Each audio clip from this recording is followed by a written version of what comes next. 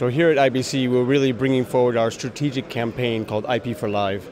Uh, at EVS, that's the, the focus on the aspect that we need the industry, we need other vendors, and we're trying to demonstrate to our customers that we need open, we need interoperable uh, capabilities for this to go forward in the industry. So we're demonstrating live with uh, partners of ours like Imagine Communications, like Cisco, and we're showing actual implementations where our new gateway product called XIP, for example, is connected directly to those existing products that our other vendors are using, and we're showing live practical hands-on demo on how off-the-shelf switches uh, and software-defined networking can help us guarantee the needed bandwidth reservation and the ability to move IP flows uh, to make a successful live production in today's space. So the XIP gateway for us is really a solution which helps us let our customers bridge their existing investments uh, when they're ready to move and migrate to an IP infrastructure. So the XIP allows them to, stack that on top of their existing XT3 server from EVS uh, and really bridge those capabilities in a reliable, consistent way, and again, with open interoperable things like SMPTE 2022-6 for uncompressed uh, video flows over IP.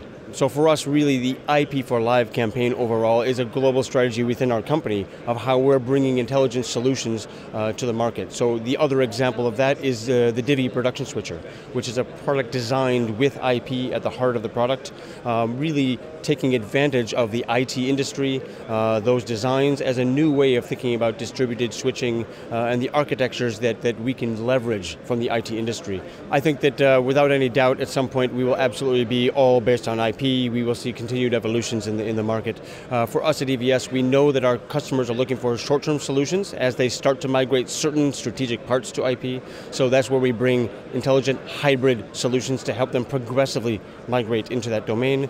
Uh, and overall, I think the you know you could see five, you could see six years before you see complete end-to-end facilities going all IP. It could take longer. It really is a it's a flexible market that's emerging right now, but undoubtedly we will move there in the future. So for us, we see various triggers for this, and 4K is definitely a compelling point because the needs of SDI today are not meeting the needs of, of 4K, I should say. So IP is an intelligent choice to help us move more into that, uh, and then you move into the topics of needing compression as well. So 4K is absolutely uh, one of those necessities which is driving the adoption of IP uh, and uh, the evolution in that uh, in the market.